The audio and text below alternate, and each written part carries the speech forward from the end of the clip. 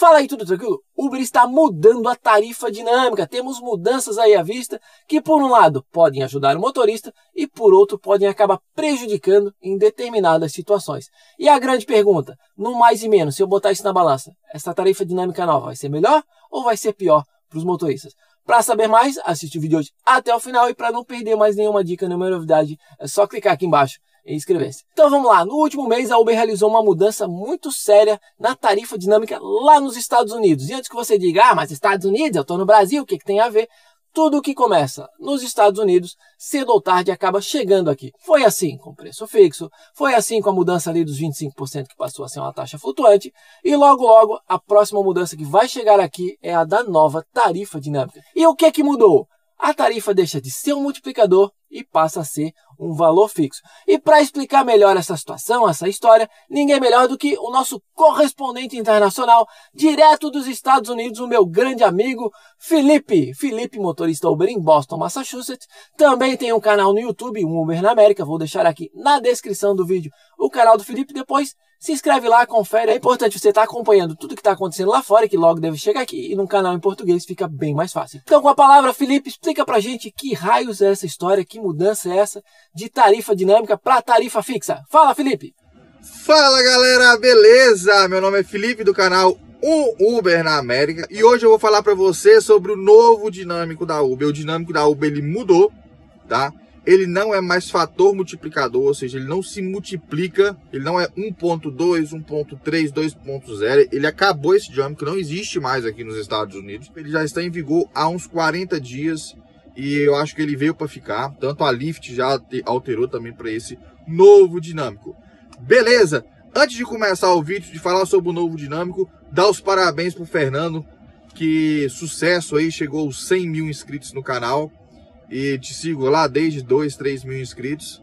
E todo sucesso aí para você aí, que o canal vai crescendo, crescendo e trazendo novidades para essa galera da Uber aí, beleza? Então, sobre o novo dinâmico da Uber, ele não é multiplicador mais, ou seja, 1.5, ou seja, o quilômetro aqui é milha, né? E o minuto, ele seria o 50% mais caro, né? 1.7, 2.0, não, acabou. Agora o dinâmico ele é fixo, ou seja, 5 dólares. Creio que no Brasil vai ser 5, 6, 10 reais. Né?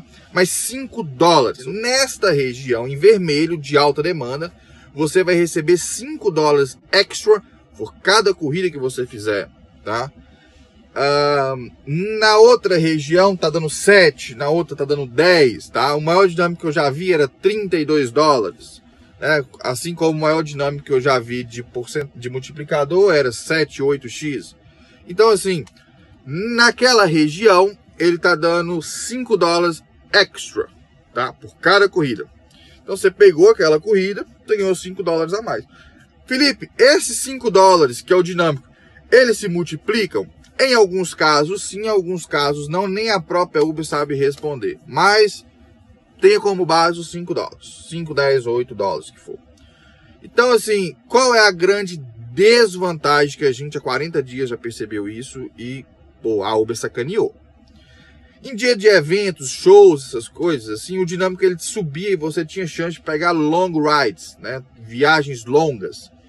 E essas viagens iam se multiplicando. O valor, quanto mais longo, mais é multiplicador. Com um dinâmico fixo, essas viagens elas não são tão compensatórias mais, porque você, você vai receber o mesmo tanto que se fosse um dinâmico, mas um valor pequeno fixo. Então é mais interessante você conseguir pegar viagens curtas e conseguir ir e voltar rápido. Então esse que foi o novo sacado do dinâmico da Uber, né?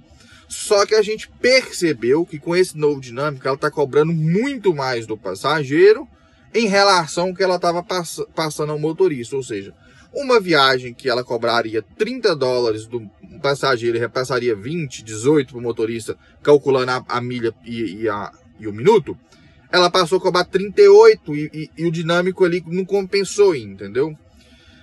Então é por esse lado, esse é o novo dinâmico. O Fernando deve colocar as imagens de um lado ou do outro para vocês, ele vai explicar. Então toca o vídeo aí, Fernando, aqui diretamente dos Estados Unidos de Massachusetts. Um grande abraço e que sucesso aí pra galera Uber aí do Brasil. Valeu, galera!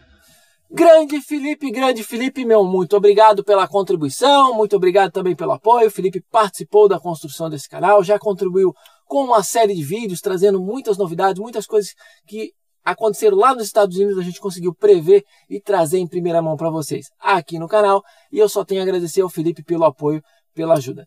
E para vocês verem que interessante, por um lado agora, essa tarifa dinâmica com valor fixo vai ajudar nas viagens curtas, aquela viagem que às vezes você ganhava 2, 3 reais, agora vai ganhar um valor fixo de 5, 6, 7, não sei como é que vai ser os valores aqui.